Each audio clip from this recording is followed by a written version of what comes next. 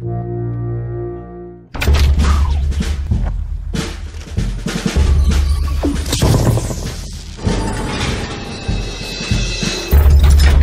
þið tilbúin? Já. Hvað var þyrlan að gera þarna? Halla, þú ert búin að ná þínu fram. Hann er með rafstöðar. Við verðum að klára Nei, plan. sko, núna ertu með aðdegli heimsins. Núna verður að senda frá þig yfirlýsingu. Guðmungur.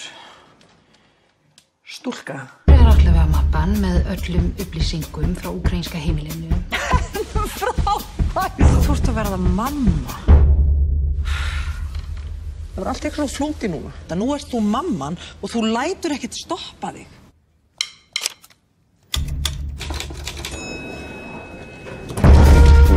Og umhverju okkar sem valda hlýnun andrumslofts og súrnum sjávar er í raun glæpur gegn mannkyninu og öllu lífi á jörðinni.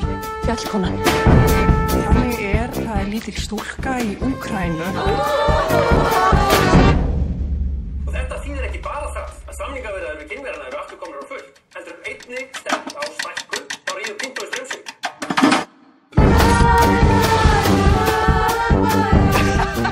97 cm og 22 kg.